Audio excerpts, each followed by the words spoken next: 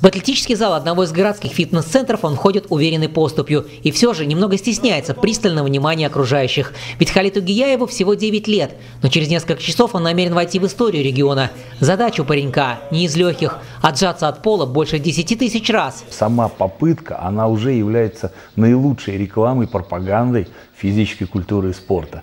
Мы, конечно, будем молиться, чтобы у мальчишки это все получилось, и он побил этот рекорд. В последние несколько месяцев Халид только и делал, что отжимался. Тренировки через день по 5 часов подряд. Поэтому взошел на помост полной решимости показать все, на что способен. Беспристрастный секундомер начал свой отсчет. Минута, 5, 10, час, 2. Судьи устали нажимать приборы для фиксации повторений, а девятилетний борец не сдавался. Но через 4,5 часа силы кончились. В протокол внесли цифру 8828 отжиманий. Настроены были больше 19 тысяч делать. Видимо, обстановка и этот, волнение. Первый раз в таком ситуации он очутился и туалет захотел. У меня не получилось, потому что я скользил и не мог отжиматься.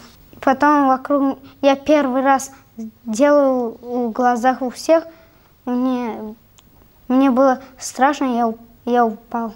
Станет ли результат Халита Гияева национальным достижением, позже решит строгая комиссия книги рекордов России.